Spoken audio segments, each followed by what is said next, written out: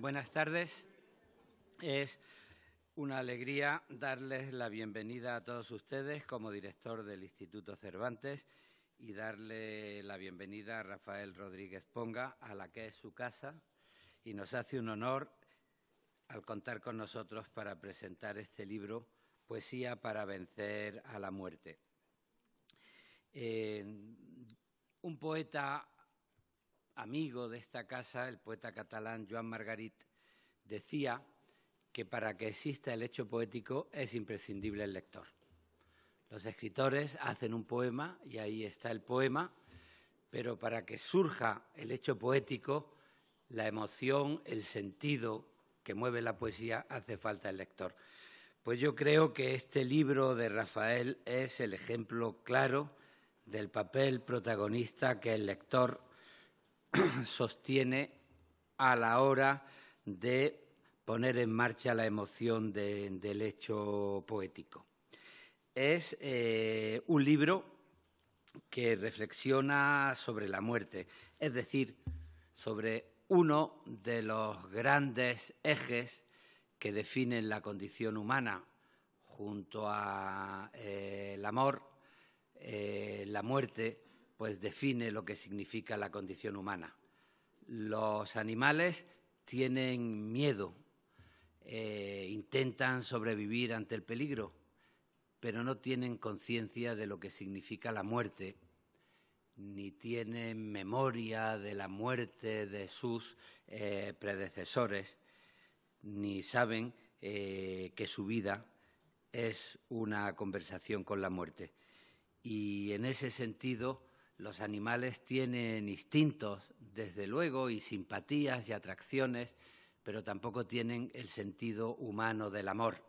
Y por eso las dos claves de la poesía son las dos claves de la condición humana, el amor y la muerte, que además son inseparables, porque, como muy bien demuestra el libro de Rafael, si el dolor se puede convertir en sufrimiento íntimo, es porque en la pérdida hay una presencia clara del, amor.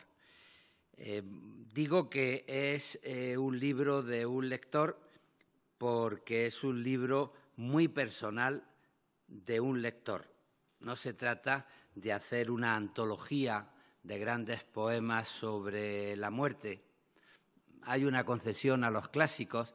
Eh, de pronto se recuerda a Jorge Manrique, se recuerda a un salmo, se recuerda el, Gaudeamos universitario, pero no hay una antología de las reflexiones sobre la muerte que podemos encontrar, por ejemplo, en Quevedo, en Garcilaso, en otros grandes eh, poetas, porque eh, Rafael ha decidido hacer una lectura muy personal de la poesía a partir de los años 50, que es la poesía a la que él acudió para encontrarle eh, sentido a una pérdida radical. La pérdida de Paloma, la pérdida de su mujer. Eh, esa pérdida, claro está, vivimos en la historia y en la condición humana, está acompañada de otras pérdidas, incluso de un momento histórico en el que la muerte tuvo un protagonismo reciente, el de la pandemia, pero el eje central, la herida central, es la necesidad de dar respuesta a un vacío, a una pérdida de sentido provocada por eh, el fallecimiento de su mujer, por el fallecimiento de, Paloma. Eh, la muerte, además, eh, y eso tiene que ver con la poesía, se produce en nosotros mismos porque cuando queremos a alguien, eh, construimos un nosotros y nuestra identidad es la identidad del nosotros. Dos individuos construyen un nosotros del mismo modo que el pacto de un contrato social de individuos construye una sociedad o que el pacto de un autor y un lector construye el hecho literario y la individualidad se hace nosotros. Y cuando la individualidad que nos ha hecho nosotros desaparece, pues una parte de nosotros mismos se queda sin sentido.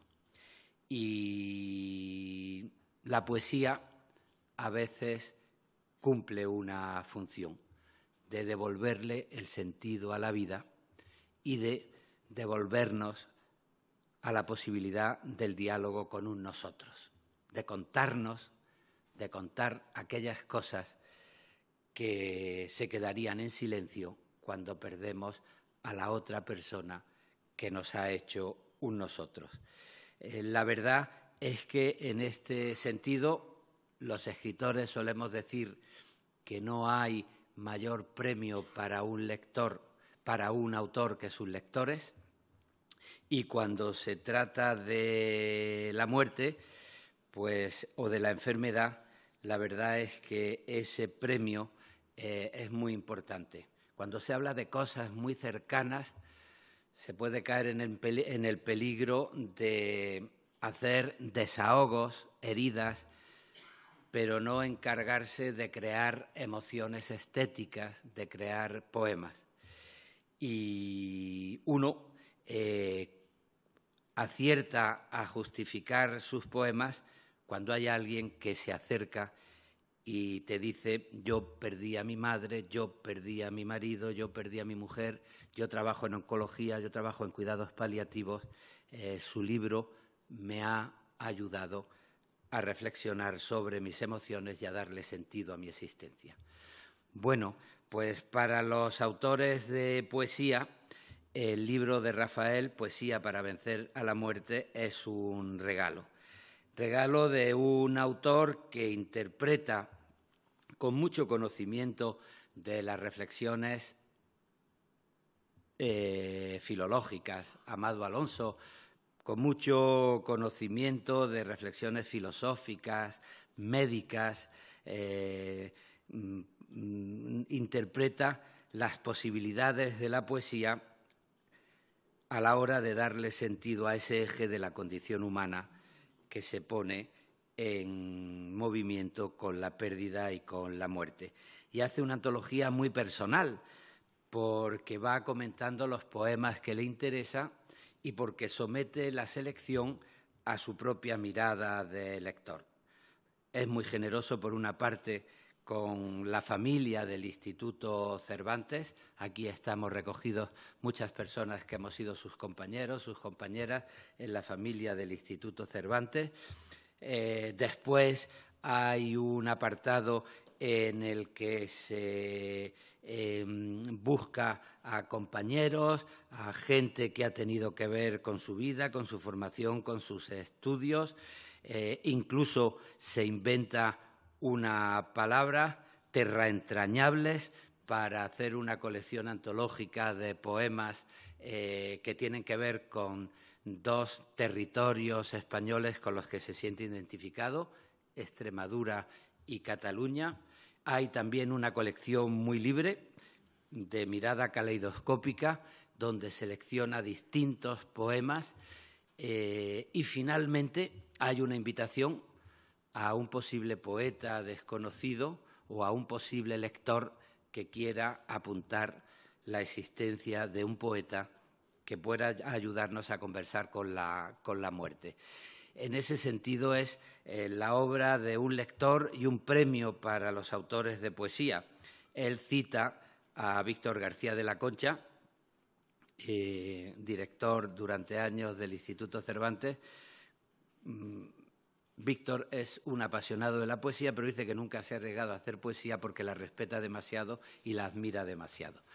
Eh, en ese sentido, los que no hemos sido tan prudentes y nos hemos arriesgado a escribir poesía, te damos, Rafael, las gracias por eh, haber contado con la poesía y con haber hecho que se produzca el sentido de la poesía que es el intento de darle un sentido a la vida que trascienda a una coyuntura concreta para hablarnos de los valores que definen y al ser humano y a la condición humana.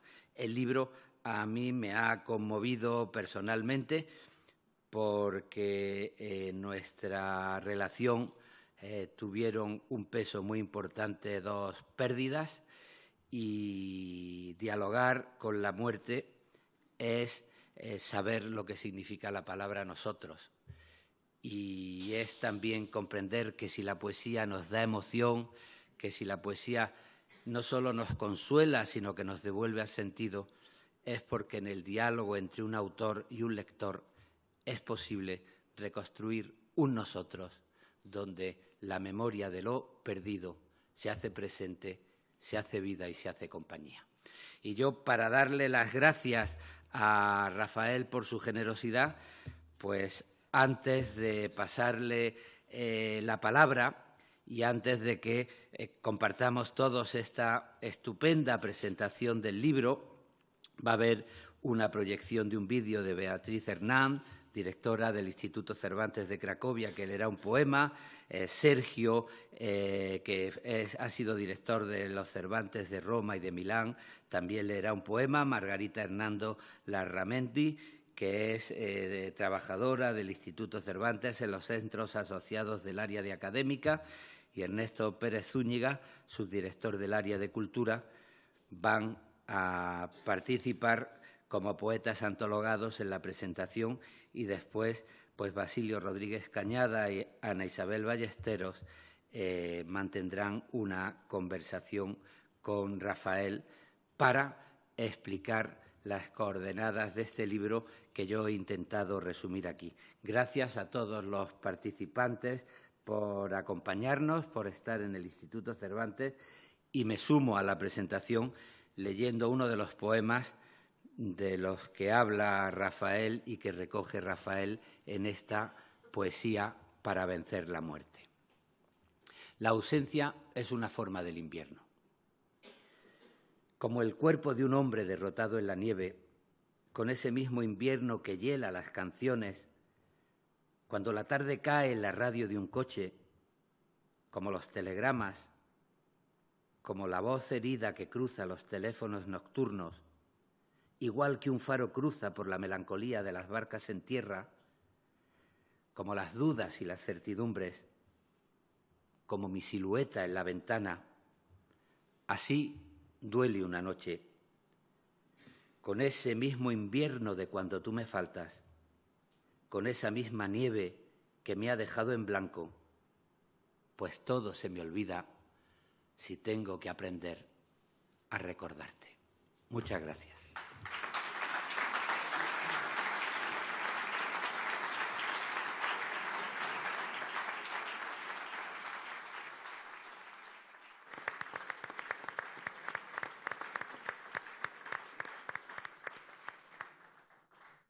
Muchísimas gracias, señor director, querido Luis. Muchas gracias por tus palabras por tu amabilidad, por tu presentación. Muchas gracias, sobre todo, por tu poesía. Sabes que tu poesía a mí me ha impactado, a muchos otros. Y gracias también por tu hospitalidad y generosidad al acoger este acto. Eh, agradecimiento que hago extensivo a las demás personas del Instituto Cervantes que con tanta amabilidad y tanta cordialidad pues, han organizado este acto de esta tarde. Instituto en el que, como saben todos, o casi todos, pues aquí he dedicado una buena parte de mi vida y aquí he pasado al mismo tiempo razones de la biografía personal y familiar, la parte más triste de mi vida.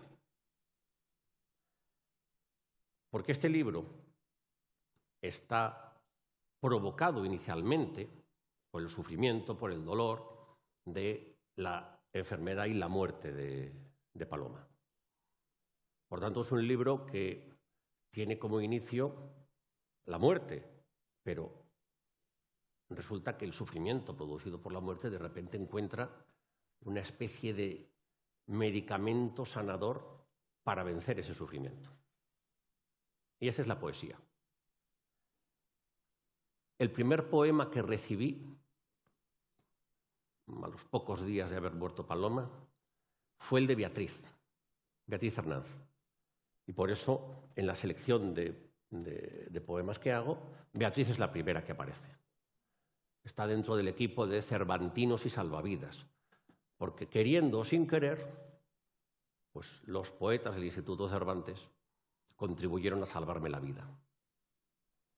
Por eso quiero invitar a que pongan en primer lugar el, vídeo que nos manda Beatriz desde, desde Cracovia, que es donde trabaja ahora porque dirige el Instituto Cervantes de Cracovia, y sí les pido mucha atención porque es un poema que, para mí es clave, porque además es el que inicia esta, esta selección. Así que con mi agradecimiento a Beatriz, si lo pueden poner ya, pues lo, lo vemos y lo escuchamos. Poesía para vencer a la muerte. Inmemorial de Albalá. Oigo a lo lejos el canto de la tormenta, que las campanas del ángelus acallen a los pájaros ausentes, que en su pico dorado, ligeros como ángeles, porten un alma risueña tatuada de libros.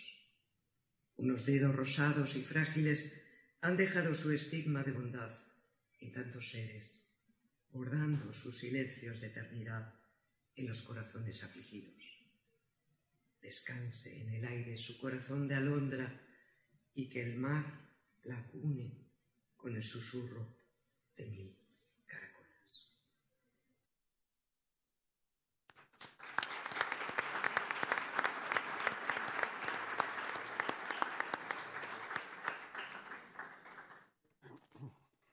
Por aquel entonces y a partir de ahí, pues empecé a leer mucha poesía. O sea, para, para llegar a este libro, pues habré leído no sé cuántos cientos de libros, pero mm, fácilmente 300 libros. Eh, hay, aquí reflejados. Y algunos son pues, de autores de, esta casa, algunos sí lo sabían, otros no lo sabían que estaba yo preparando esto. Así que invito ahora a Sergio Rodríguez, que es el siguiente que tenemos en la lista, que nos va a leer un poema escrito por él mismo en caló y otro poema de Carles Duarte escrito en catalán porque un rasgo de este libro también es esa diversidad eh, que nos ofrece la poesía actual. Muchísimas gracias. Gracias también a todos. La verdad es que lo de que el ladrón vuelve siempre al lugar del crimen es cierto. Me encuentro en casa con muchísimas caras conocidas y sobre todo con el agradecimiento personal a, a, Rafa, rector, amigo, eh, secretario general y autor también, a Luis, también con afecto a todos quienes estáis aquí, veo muchas caras conocidas, no, quiero, no daría tiempo a, decirlas todas. Pero mm, eh, Salvador Pasei fue, yo diría, el autor que aúna las dos cosas que voy a leer ahora, porque era gitano y era también catalán, y hablaba, escribía, no en caló, pero escribía con una forma muy gitana de escribir en catalán. Entonces, hay dos poemas que yo quisiera leer. Uno es de uno es mío y, otro es de Carlos Duarte, que es un gran amigo también, que junto con Carlos Tourné, con, con Joan Margarit, es de la generación actual de, poetas y que la verdad es que para mí es un gran poeta. Y el otro es mío, me da un poco de prurito leer a mí un texto mío, casi casi que leería de mi doctorando Agustín, que es eh, gitano de Zaragoza, con aquello de ser voz y los sin voz. Bueno, pues si podemos darles voz directamente casi, mejor comprar la primera marca. La de Carlos Duarte, que es una poesía que es muy de Carner, de, ese, eh, de ese, final del siglo XIX, pero que él hace del siglo XX, eh, de esa poesía de cultismo y que dice exhausta la mirada, tanques dels ulls. Volen velossos àgils els falciots, lliscant, inquiets, lliscant, clotells de llum, sagetes que es projecten cel endins, dibuixant-s'hi, espirals entreteixides, vòrtex, vertigen, precipitant-nos fins al límit del que som, travessant-lo, transladint la pell i la frontera, abocant-nos la mar al territori incert, inabastable de la nit. El temps vençut, després de l'ara i de l'ahir, lliurat en un retorn a l'univers. Luego, hay una que me gusta especialmente, que es en el silenci de la nit, que dice en el silenci de la nit, la veu dels astres, la remolor dels aires, el cant antic que el rossinyol recrea, els llavis comoguts que s'il·luminen, l'apertura del cor que s'emudeix dels segles desats al bosc, entre les branques de la mar cincellada per la llum en el silenci de la nit. Les veus del somni, l'univers eixamplant-se, l'harmonia dels cossos, la llàgrima del temps, la solitud als ulls, la música que decristeix de l'ànima com un plany, com un crit, ressò del món dins de tu, ferida oberta. Y acabaremos con Bansut, que dice, de vegades el mar es torna farèstec i es passeja l'amor a cops de vent dalt de la nau. Llavors em sé vençut i espero el darrer gest, l'onada que m'ha de rebassar. No hi ha dolor, sinó, i esquinçament, s'esquerda, s'enfonsa el temps, com una roca que es desprèn de l'espatat, i torna al somni. Imagino Arbart i les ciutats que fundaran les nostres mans, les llengües que aprenem, els ulls on es fondaran els nostres ulls, l'infinit esculpit en una estàtua, els herois que mar enllà enxaplaran la història. Em sé, vençut, però el mar benèvol ajorna la sentència. M'esperen nous ponents. Bueno, es la parte que tiene que ver con Carlos Duarte, la poesía en catalán.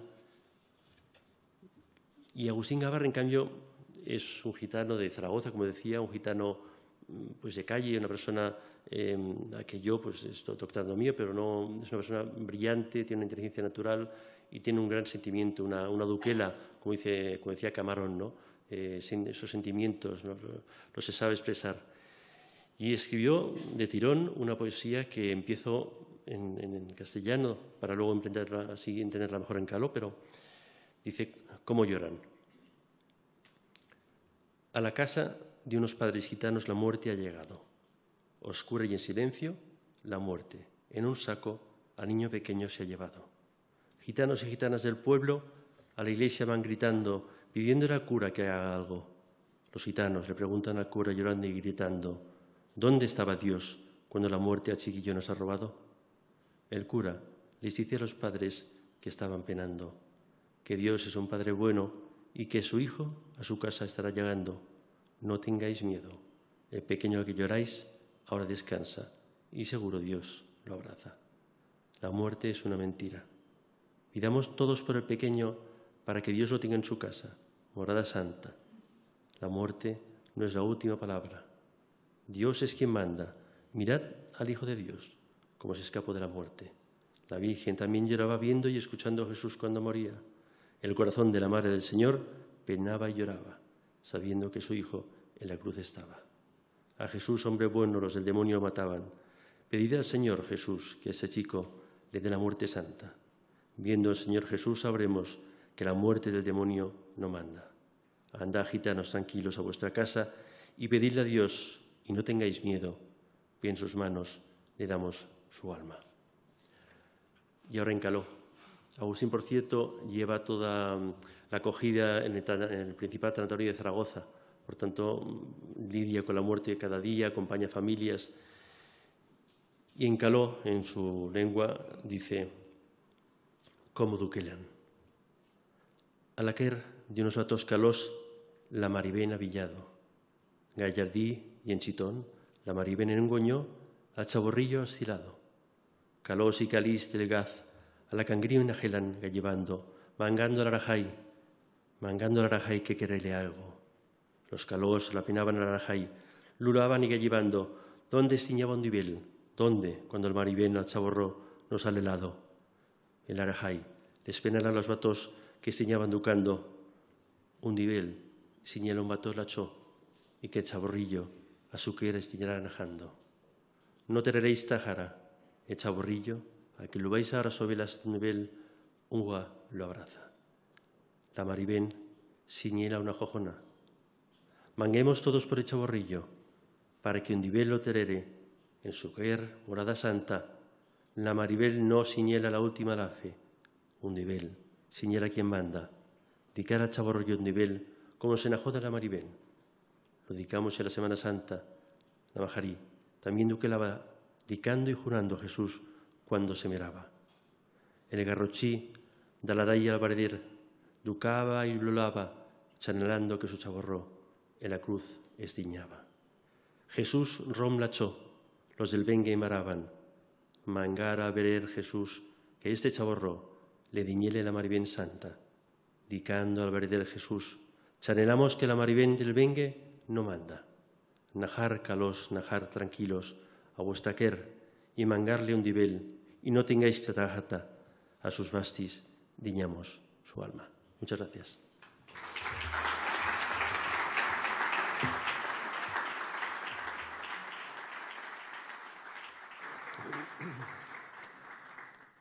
Ahora invito a subir a Margarita Hernando de la Ramendi, no solo poeta y trabajadora de esta casa, sino además compañera de curso de la Facultad de Filología en aquellos años en la Universidad Complutense y, por tanto, también representante, digamos, del grupo de los eh, condiscípulos que están también en el libro. Adelante.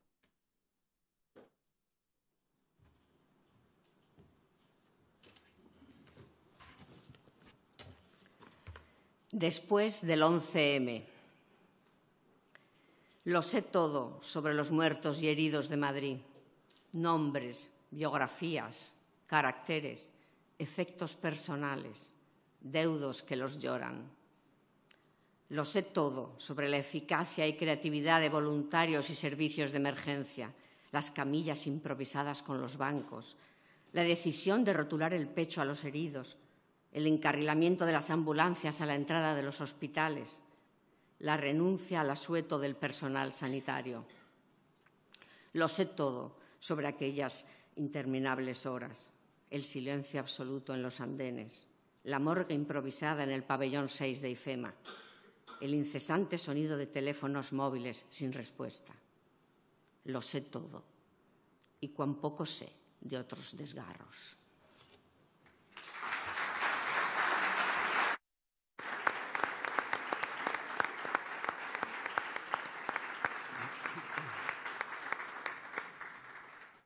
Y ahora invito a Ernesto Pérez Zúñiga, que también trabaja en esta casa y hemos trabajado pues estos años también, pero además hemos hablado recientemente, ¿verdad? aprovechando el Congreso Internacional de la Lengua Española en Cádiz, pues hemos hablado también sobre este libro, esta selección, en fin, y la importancia de la poesía. Ernesto, adelante. Voy con etiqueta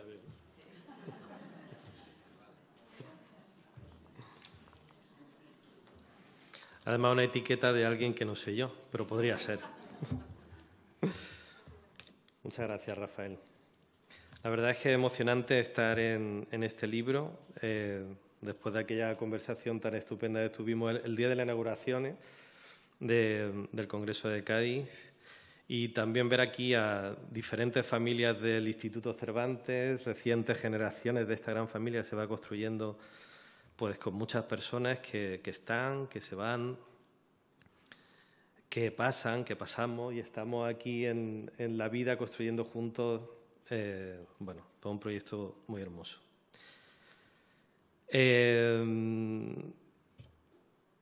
cuando hablé con Rafael, me contó este proyecto, la verdad es que cuando eh, vi el libro y, lo he leído, pues me ha asombrado, aunque no tanto, porque no me ha sorprendido, pero sí al verlo, esa actitud con la que Rafael Rodríguez Ponga habla de la, de la muerte, ¿no?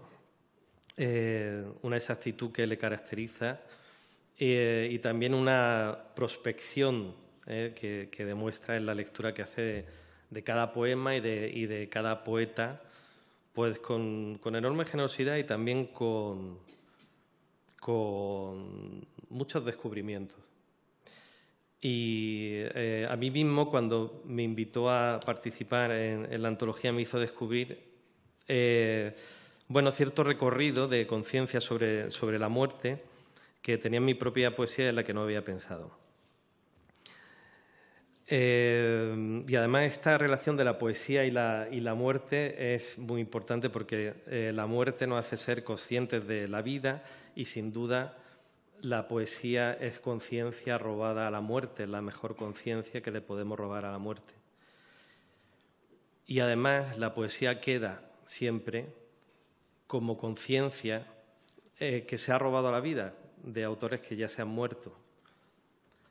Y mm, estaba yo leyendo, y voy directamente al poema que, voy a leer, estaba leyendo un libro de esos muertos, en este caso una relectura de la Iliada, y volví a leer la muerte de Patroclo en, la Iliada, y me conmovió como si fuera mi hermano. Eh, su muerte como la nuestra, como la de cualquiera, que está ahí luchando en las cosas de la vida y de pronto eh, pasa algo que te, interrumpe eh, la vida, que te interrumpe el combate. Y sentí una emoción tan fuerte en ese momento que tuve que recurrir a otro autor que también pues, alrededor del siglo VI antes de, Cristo, que era, bueno, era el Bhagavad Gita, y otro héroe que no era Patroclo, sino Arjuna, otro luchador que eh, está luchando contra su familia, contra sus primos, eh, y está en el carro que, lleva a Krishna eh, en ese momento, y Arjuna dice, ¿cómo voy a matar a mis hermanos? ¿Cómo voy a matar a mis primos? Me he educado con ellos. Y, y Krishna le contesta, se ríe, dice, no los pueden matar porque todos pertenecemos a una misma familia los vivos, los muertos, parece que, eh, que somos diferentes, pero todos somos los mismos en la unidad de la vida o de la muerte. Y así escribí, este poema. Dice así. Patroclo, una vez más me conmueve tu muerte, una vez más ha sucedido en mí. Ni mengua mi pesar que el ciclo se repita, ni importa que millones de lectores sufrieran el momento en que Apolo desata la armadura de tu espalda, traidor, mago invisible, y te saca el casco de la sufrida cabeza para que tus enemigos puedan clavar su lanza en tu columna y en mi vientre. Lo siento en mí y así caigo contigo un Dios se ha preocupado de vencerte en la senda que creías tu deber. Nos ocurre a los demás al tomar un camino convencidos y nos hallamos muros y alambradas, o cuando encaminándonos al lado contrario otra alambrada nos detiene o un torbo aparecido con la lanza en la mano. Con suerte, será Arjuna el que se acerca. Camarada Patroclo nos dice, yo no soy tu enemigo, sino hermano de muerte luminosa. Vida y muerte suceden en el mismo campo de guerra y en la misma palma de la mano. No sufrirás si amas el tacto de las plantas de los pies sobre la tierra sacra aunque el impulso de un Dios nos arrebate los escudos. Todo está sucediendo en el aliento de un esférico Dios que nos contiene. No sufras, porque tu alma viaje al Hades, dejando atrás un cuerpo todavía joven. El Hades es barbecho. Alguien de ti regresa. Ya lo oigo, Patroclo, no sigues siendo tú ni te recuerda, pero se debe a ti.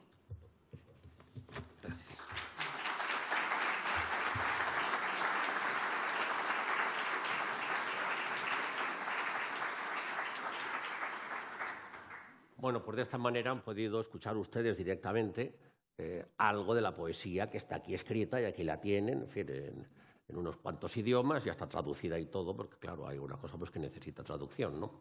Pero en fin, aparte de los poetas que tantos buenos momentos me han dado cuando lo he necesitado, también hay que agradecer a Basilio, el editor, su generosidad y su amabilidad y su rapidez. También poeta, por cierto el editor como la catedrática que aquí nos acompaña, que también están en el libro. Decir, que aquí hay muchos, muchos poetas, pero que además tienen otras funciones en la vida, pero en este caso como poeta, pero en fin. Cedo ahora la palabra a Basilio como editor, como presidente del grupo editorial Sial Pigmalión. Muchas gracias, Rafael. pero lo cierto es que cuando uno se ve rodeado de tan magníficos oradores y poetas, eh, se siente ciertamente acomplejado.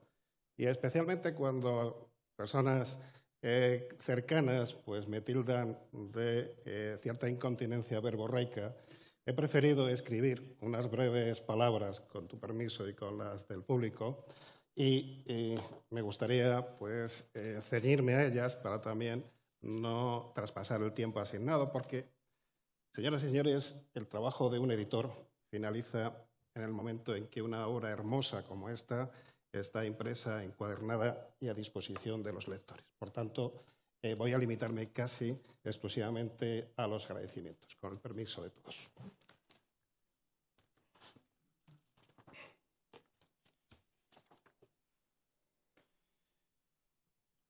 Distinguidas autoridades, señoras y señores, queridos amigos, en nombre del grupo editorial SIAL Pigmalión tengo el placer de darles la bienvenida y agradecerles su asistencia a este acto de presentación de un libro muy especial que no va a dejar a nadie indiferente, Poesía para vencer a la muerte.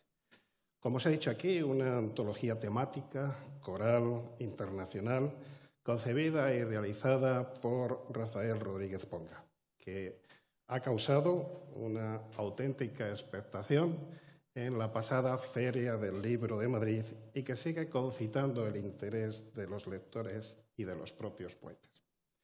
Obra que aparece en el sello Pigmalión del grupo editorial Sial Pigmalión, que este año cumple su vigésimo quinto aniversario, nuestras bodas de plata, publicando 25 obras emblemáticas o referenciales, tres de las cuales precisamente han sido presentadas en esta misma institución a lo largo del año 2023.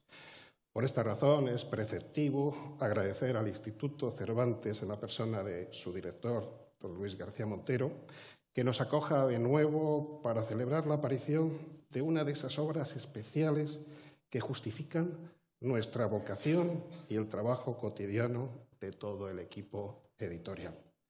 Agradecimiento que eh, le rogamos haga extensivo a todo el personal de esta institución señera. Poemas para vencer a la muerte es una antología singular, se ha dicho antes, porque surge de una investigación realizada con sentido didáctico, para ser útil a los lectores que busquen una salida a la incertidumbre y al desconcierto.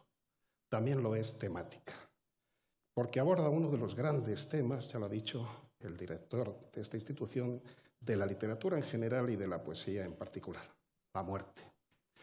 Amplia, con más de 410 páginas y más de 100 poetas seleccionados, multilingüe, porque incluye poemas en 16 idiomas internacional, con autores de 16 países, plural, de diferentes credos y estéticas.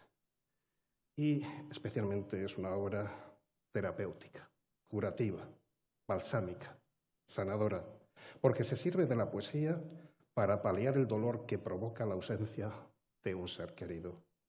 Un libro de libros, un almácigo de buena poesía, ya que además de la selección de autores y textos realizada por el antólogo, nos ofrece una amplia bibliografía para quien desee profundizar en el tema que articula el libro o en la obra de cualquiera de los poetas antologados. En definitiva, una obra que, como decíamos anteriormente, ha conquistado el corazón y la sensibilidad de los lectores, ya que les anuncio que la primera edición está prácticamente agotada. De hecho, los ejemplares que tienen en la entrada del salón posiblemente sean de los últimos de esta primera edición. Y ya saben ustedes que si son bibliófilos, eh, cuando dejen sus bibliotecas a los herederos y vendan una primera edición, sobre todo está dedicada, va a tener más valor que la segunda. Y en los próximos días aparecerá la segunda edición de este libro, revisada y corregida por el autor.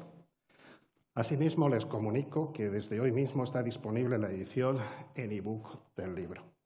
para que no haya barreras geográficas o limitaciones logísticas que pidan a cualquier lector a lo largo del ancho mundo acceder a este libro eh, tan necesario.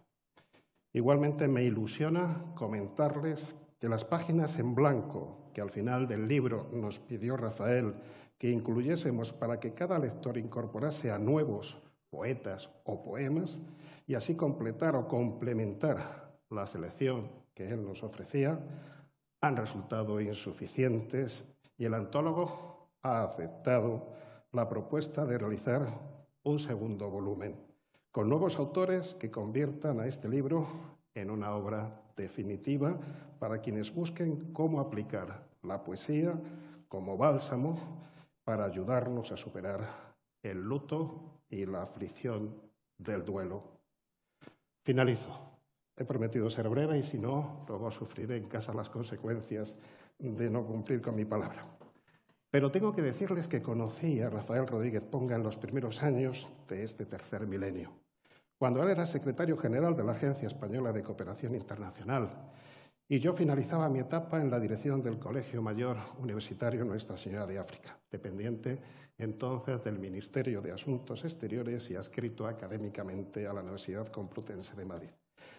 Precisamente fue en ese contexto universitario donde surgió nuestro proyecto editorial, del que ahora celebramos, como decía antes, nuestro primer cuarto de siglo.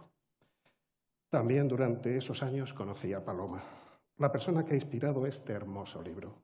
Recuerdo nuestros encuentros esporádicos durante los paseos por la amplia y bella playa cántabra de Merón, en San Vicente de la Barquera, o entre las callejuelas empedradas y adornadas con flores de Santillana del Mar.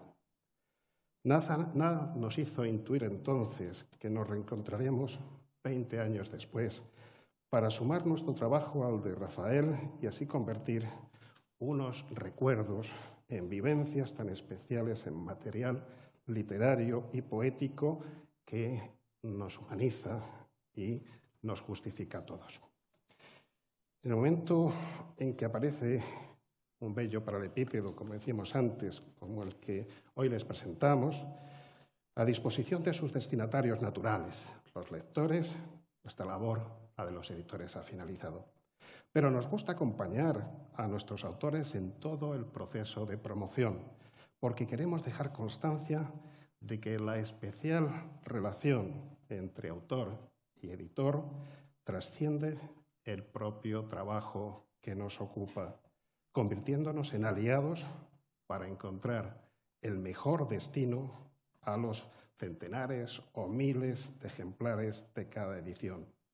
Y mucho nos agradaría que todos ustedes pudiesen atesorar uno de esos ejemplares de esta primera edición de Poesía para combatir a la muerte en sus bibliotecas personales o, incluso mejor, en sus lugares íntimos preferidos de lectura y de reflexión. La realidad es que estamos ante una de las obras que, como decíamos antes, les va a impactar profundamente que acepta además distintos niveles de lectura y que, con una cuidada edición de los textos, nos descubren el mundo poético desde una diferente perspectiva literaria y algo también importante, como decíamos antes, de manera didáctica y filológica. Gracias, Rafael, por llevar a cabo una obra de tanto calado y por la confianza que has depositado en todo momento en nuestro proyecto editorial. Y gracias a todos por su presencia y paciencia.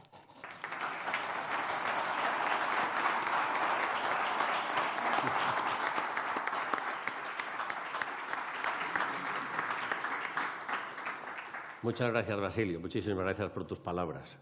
Y ahora invito a Ana Isabel, catedrática de literatura de la Universidad CEU San Pablo, a que diga unas palabras porque es una de las poetas que está también en el libro, pero además es catedrática de literatura, con lo cual pues también comprende muy bien el, conjunto de, esta obra.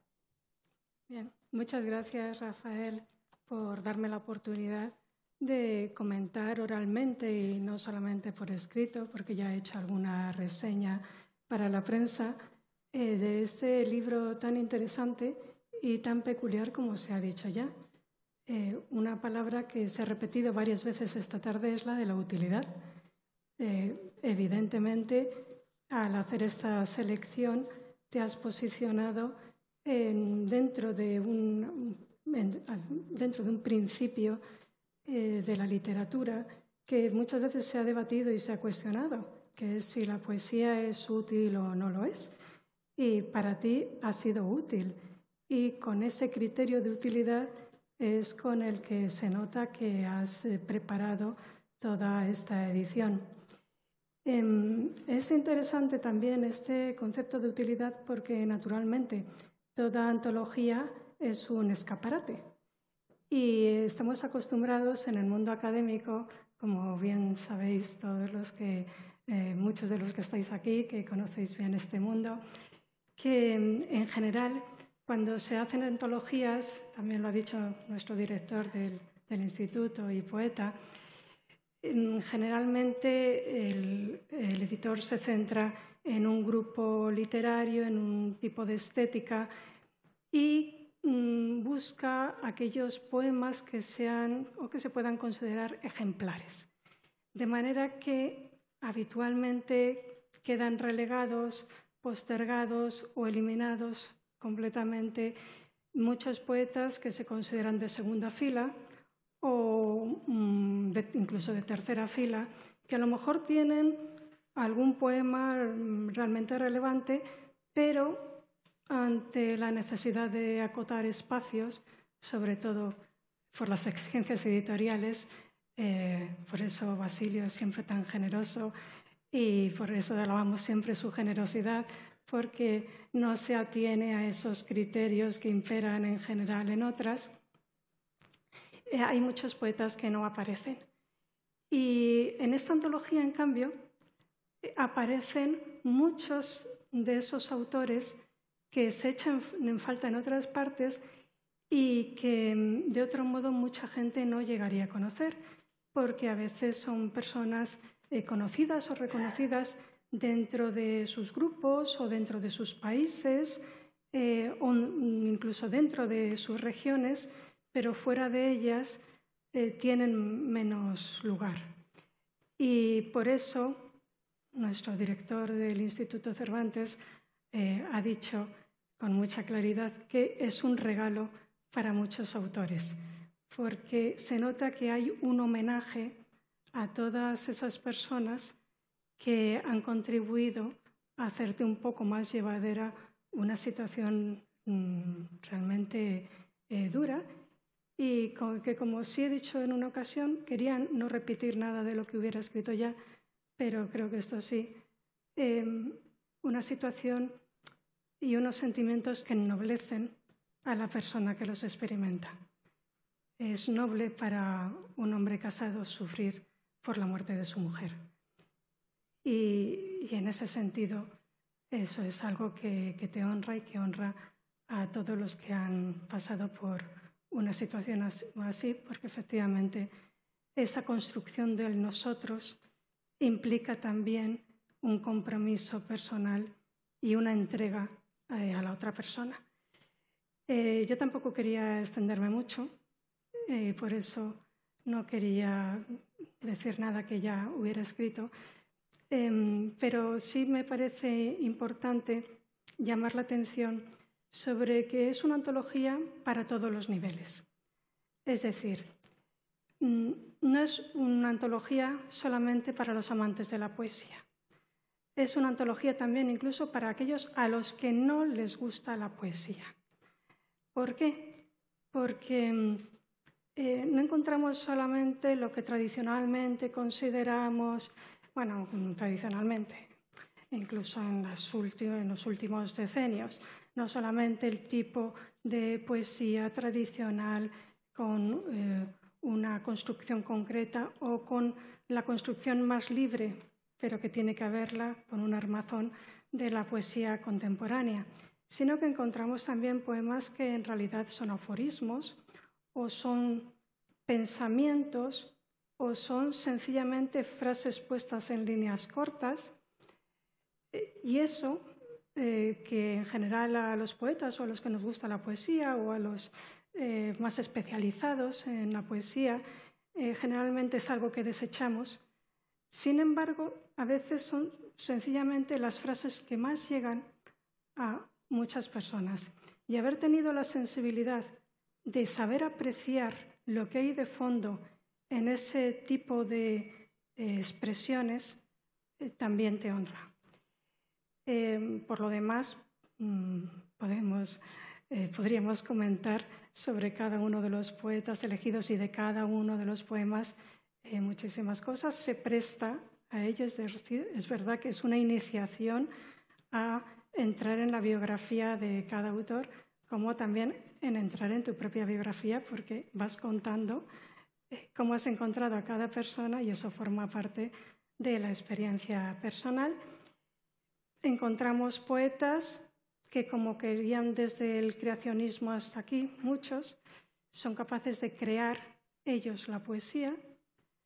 Encontramos en general más, quizás, poetas que expresan a la manera de Becker o siguiendo los dictados de Becker, expresan lo que hay de poesía, es decir, la poesía es algo preexistente, el poeta la capta, y sirve como intermediario o, decía Becker, sacerdote, para mostrarla al lector.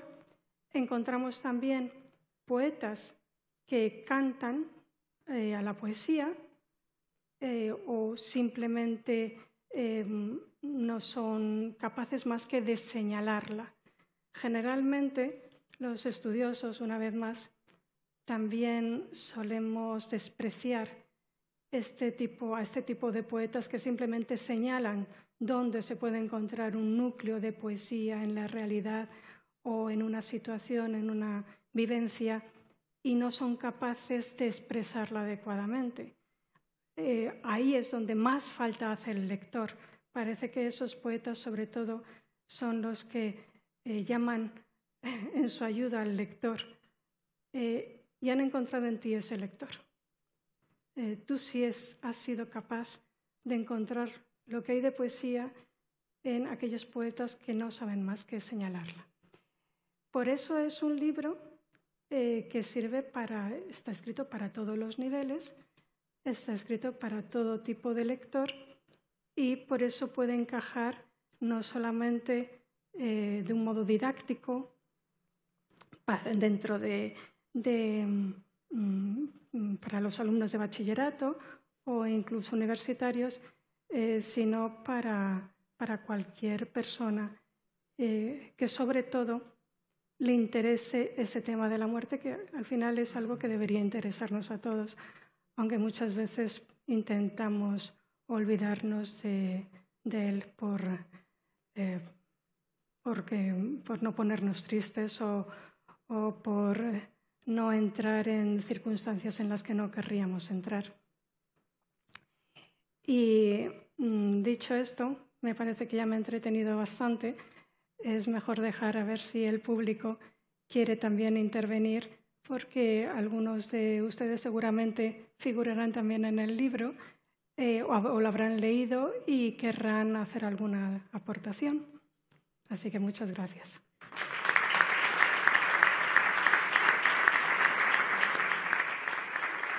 Muchísimas gracias, Ana Isabel. A ver, yo ya les he contado a ustedes, y muchos de los aquí presentes ya saben de antemano, cuál fue el origen de este libro. Y ya lo he dicho. Pero claro, eh, quedarse viudo es una cosa que le pasa a mucha gente. Y de ahí no, no le sale un libro de antología de poesía. Entonces, eh, aquí tiene, tiene que haber algo más.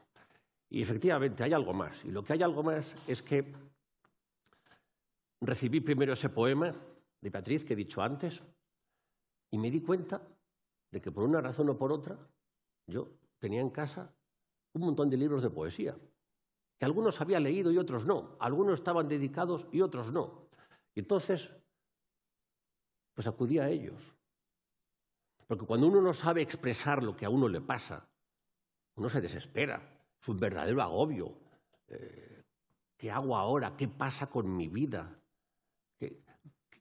¿Qué, son los sentimientos que tengo que no comprendo? Uno sabe muy bien la causa que ha pasado, pero uno no sabe expresar lo que resulta que han expresado otros. Y entonces, una porque se le murió su nieta, o su sobrina, o su marido, o su mujer, o su amigo, o su no sé qué, pues empecé a ver que estos sentimientos y este dolor ya estaban expresados. No tenía yo que ponerme a, a descubrir nada nuevo, ya está dicho. Uno descubre, uno ya sabía, pero descubre el valor sanador de la palabra. La palabra cura, la palabra sana. Por eso este libro tiene dos partes. Este libro tiene una primera parte, que es un ensayo, es un estudio, y una segunda parte, que es la selección, la antología.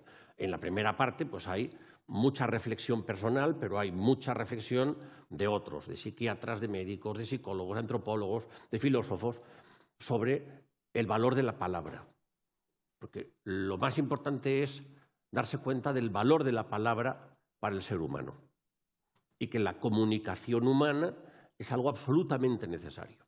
Pero claro, si además esa palabra está expresada con belleza y por lo tanto produce una emoción estética, pues ese, sufrimiento empieza a superarse. No porque sea un libro alegre, no es un libro alegre. Este libro hay que leerlo con cuidado, pero claro, empieza uno a leer un poema y otro y otro y acaba uno llorando, pero, pero, pero, pero claro, porque es una que se le ha muerto la nieta, la otra se le ha muerto el no sé qué, la otra se le ha... y otros que no sabe uno quién se ha muerto, o el héroe. Eh, pero siempre se ha muerto alguien ahí. Claro, es terrible, porque al cabo de un rato está uno que no puede más.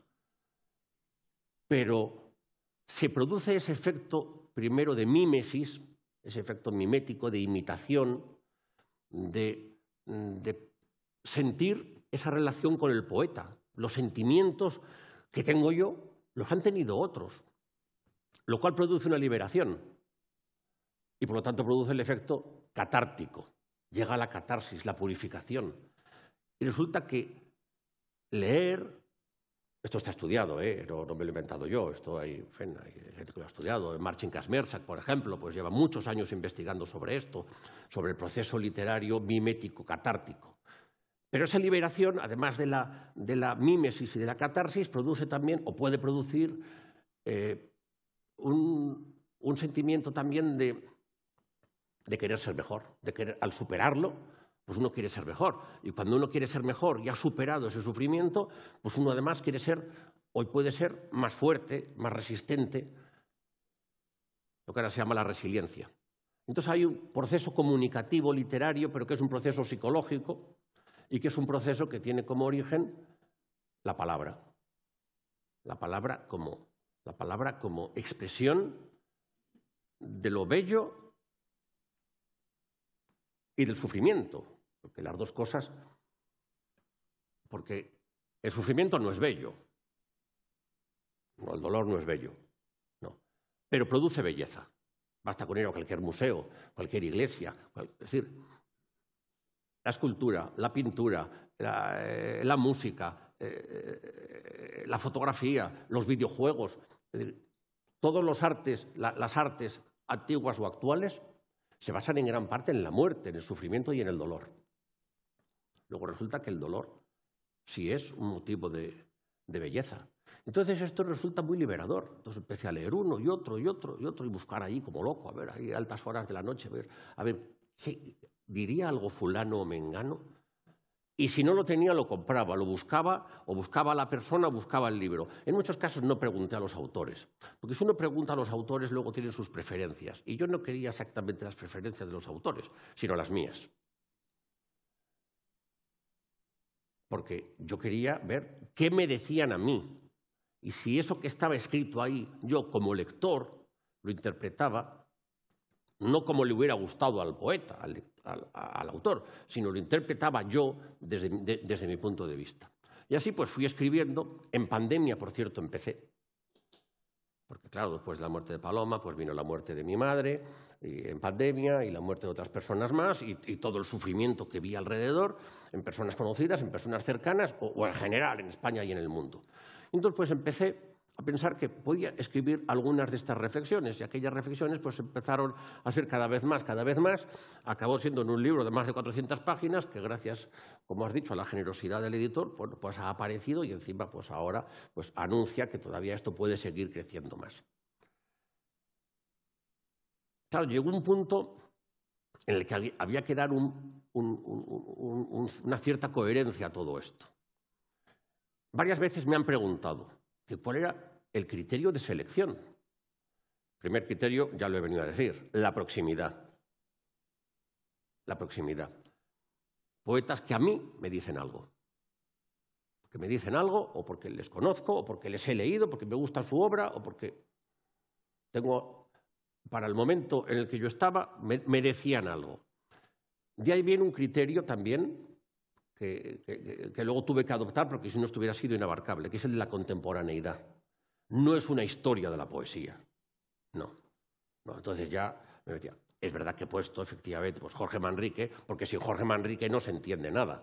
Claro, nuestras vidas son los ríos que van a dar en la mar, que es el morir, pues es que eso se sigue diciendo hoy. Eh, y, en este mundo traidor y tantas otras cosas que se dicen, pues son de Jorge Manrique. Es decir, siglos después seguimos recordando esta poesía tan, tan extraordinaria. O los salmos. Dios mío, Dios mío, ¿por qué me has abandonado? Claro, esa sensación la tiene uno, pues como efectivamente está escrito en los Salmos y está escrito en, el Nuevo Testamento. Es, decir, es, un, es, un, sentimiento con el que uno se puede identificar mm, absolutamente. Absolutamente para después superarlo, evidentemente, para poderlo superar y para poder comprender que, que eh, si la poesía eh, nos lleva a ese sentimiento liberador, este, este, sufrimiento, esta sensación de abandono, nos lleva también a la redención. Porque, claro, uno descubre que cuando uno habla de poesía, habla también de canciones, lo has dicho, y habla también de oraciones. Aquí hay muchas oraciones, hay muchos poetas que cuando hacen poesía en realidad están haciendo una oración, o cuando están haciendo una oración están haciendo una, una poesía. Y ahí entro en el siguiente criterio. Busqué también un criterio de diversidad. Aquí hay poetas que son cristianos, pero otros son musulmanes, otros son judíos y otros no son creyentes. Busqué también la diversidad lingüística. Claro, ya me conocen, pues me interesa la diversidad lingüística. Entonces empecé a buscar poemas, por supuesto, en las lenguas de España. El español, el asturiano, el gallego, el catalán, el vasco, eh, el caló, el bereber de Melilla. Pues sí, pues, pues lo busqué y aparecieron, porque aquí tiene una parte de investigación. Y luego, pues, lenguas de otros sitios. Pero claro, me tuve que poner un límite, porque si entraba en la poesía francesa, en la poesía inglesa, en la poesía portuguesa, la poesía en lengua inglesa, otra vez interminable. Por lo tanto, puso otro límite. Mundo hispánico en sentido amplio. Porque claro, para mí lo del sentido de proximidad que decía al principio llega hasta las Islas Marianas. Entonces, la proximidad ah, puede ser un poco lejana, pero para mí están muy cerca. Entonces, pues hay un poema en chamorro, en chabacano, hay poemas de Gría Ecuatorial, de Marruecos, de, República Dominicana, de México, de Argentina. Y por lo tanto hay un sentido pues, de, de hispanidad.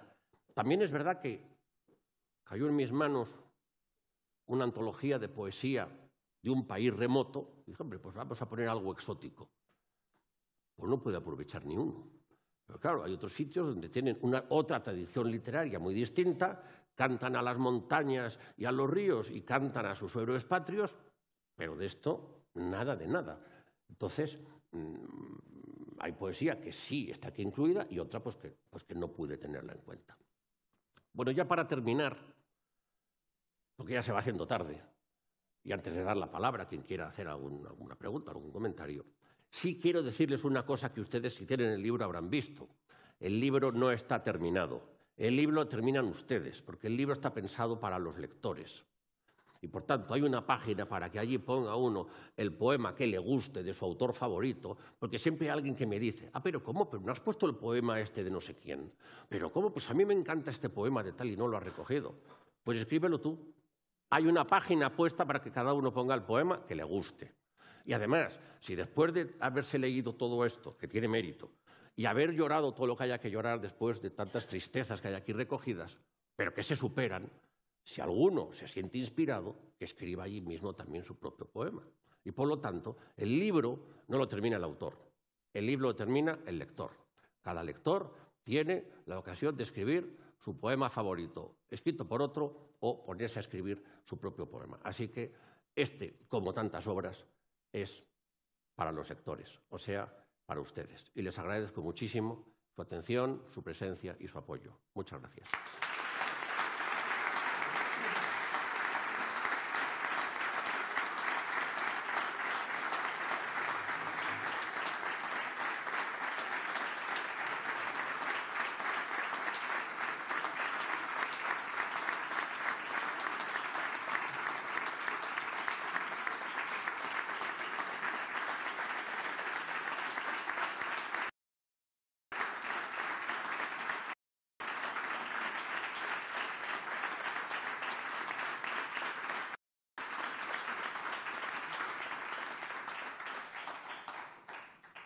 Como ha dicho Ana Isabel antes, si alguno quiere alguna pregunta, si tenemos, no sé si tenemos un rato de coloquio, que claro, que aquí se empieza a hacer un poco tarde, pero a lo mejor diez minutitos sí, ¿no?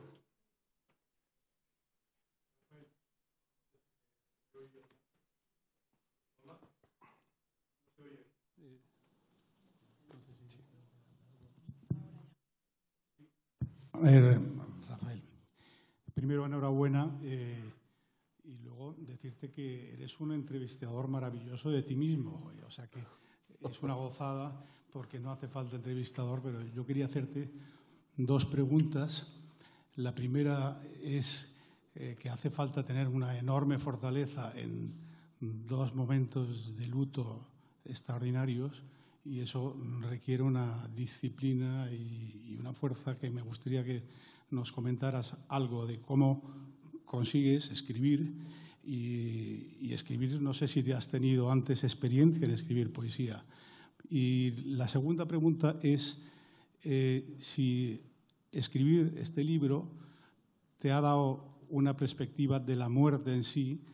Eh, entiendo y creo que eres una persona que tiene fe y si eso te ha dado escribir y estas dos muertes tan próximas, te ha dado una perspectiva diferente de la muerte, de la fe. Sí, a ver, son dos preguntas muy profundas. A ver, en primer lugar, efectivamente, todo este proceso que he dicho, pues eh, el proceso como lector me llevó a escribir. Pero esto no son, aquí no hay poemas míos. Es decir, yo no, yo no he publicado poesía. Aquí hay un estudio y hay una antología de poemas comentados. Claro, yo, mm, por mi formación y por mi profesión, pues doy mucha importancia a la palabra. La palabra me parece fundamental. O sea, la palabra es lo que nos, en gran parte, lo que nos define como, como, seres humanos. Y, por lo tanto, mm, yo era consciente de, la importancia de la palabra leída, pero también oída. En la superación del duelo, pues es muy importante hablar, hablar con los demás, en mi caso, con los hijos, con los hermanos, con los amigos, o con la psicóloga o con el sacerdote y con los poetas, que para mí ha sido parte importantísima de este proceso. Hablar o leer, que es otra forma de estar, de, estar en comunicación con, con, los poetas. Entonces aquí ya entro casi en la segunda parte, si es que no le he contestado ya. Es decir, parte de este proceso, pues efectivamente es un proceso literario, también en su proceso de crecimiento personal. Y por eso me puse a escribir, porque pensé que todo esto que yo estaba leyendo y todo esto que yo estaba pensando y que había leído, no solo poesía, sino también, pues, te digo, desde distintas disciplinas, esta visión de la muerte y la superación del duelo, pues podía ser útil a otras personas. Y si puede ser útil, que es lo que habíamos hablado, como he dicho también, la utilidad de la poesía y la utilidad de la reflexión eh, a propósito de la poesía para superar el dolor, pues me pareció que, podía también prestar un servicio si, me ponía manos a la obra. Y así ha salido este libro. En todo caso, si me permites, yo creo que eh, también tendríamos que desvelar que efectivamente para hacer un libro de estas características hay que tener alma de poeta. Y que, como muy bien ha dicho Rafael, él nos ha incluido, como hizo Damaso Alonso en su famosa antología, pero muy bien podría haberlo hecho. Y por otro lado, el que haya ofrecido una obra de estas características antes que publicar su propia poesía, me parece que es digno de encomio, porque normalmente los escritores y especialmente los poetas eh, nos precipitamos o tenemos un deseo, tiritamos de inéditos y necesitamos ver publicada nuestra obra. Una persona como él que escribe, aunque hasta ahora ha sido un poeta oculto, yo creo que salvo Anabel y pocos más no han leído su obra, pero a mí sí que me gustaría, si no os importa, que nos cuentes, además de hacer esta obra, ¿has escrito durante ese proceso? Buena pregunta, ¿eh? Voy a tener que contestar en público lo que no sé si alguien me lo haya preguntado, alguien me lo haya preguntado. Sí, sí he escrito. Sí he escrito. A lo mejor me pasa como a Víctor García de la Concha, después de trabajar tantos años con él, que claro, tengo tanto respeto por la poesía, que claro, que publicar poesía es algo muy serio. Yo, como él, leo y comento y estudio la poesía de los demás. La mía, pues algún día llegará. ¿Verdad, Isabel? Algún día llegará, ¿verdad, Basilio? Pero sí que eh, la palabra, como tú dices, no solo leída, sino también... No solo leída, sino expresada. expresada escribir libera. Escribir libera. Y además, ese proceso en el que uno lee y uno escribe, que a veces uno escribe como resultado de lo que ha leído, pero a veces uno busca leer después de haber escrito algo. Y como he escrito esto y de repente me he encontrado que estoy poniendo estas cosas, pues a ver quién ha escrito también sobre, sobre esto o con esta perspectiva. Y, esto de, ponerse por internet a comprar libros, pues es una, una, afición fantástica. O ir a librerías allí y salir con un montón de libros, algunos de poetas conocidos y otros desconocidos que están aquí y que de repente han aparecido en mi vida y espero que también en la de ustedes. Otra cuestión es que eres consciente de eh, el peligro que asumes al anunciar una segunda parte de esta obra y que estar dispuesto a seguir leyendo a poetas publicados o inéditos. Sí, estoy dispuesto a seguir leyendo poetas publicados, incluso inéditos.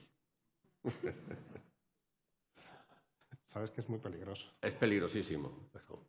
Pero, eh, ¿estás determinado a, seguir adelante con ese trabajo? Sí, sí, claro. A ver, ahora, bueno, ya Basilio ya ha anunciado que habrá una segunda edición, pues porque esta eh, conviene eh, pulirla un poco más y mejorarla, y luego ya, pues, si si hay espacio suficiente, pues eh, haremos un, segundo volumen, un volumen 2 de poesía para, vencer a la muerte, sencillamente porque hay unos poetas que, no he incluido aquí, que podrían haber estado perfectamente incluidos, pero que por alguna razón y porque ya pues tal, pues eh, eh, no han quedado incluidos, pero que, ya los tenía, los tenía en mente y, y, los tengo ya más o menos preparados, o bien porque a modo de investigación sigo buscando y sigo buscando pues huecos que yo mismo estaba advirtiendo al hacerlo, pero ¿cómo no tengo algo así? ¿Cómo no tengo esta otra perspectiva?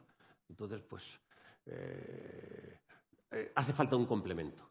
Para que una obra esté completa, hace falta un complemento. Así que, pues habrá que ponerse a ello.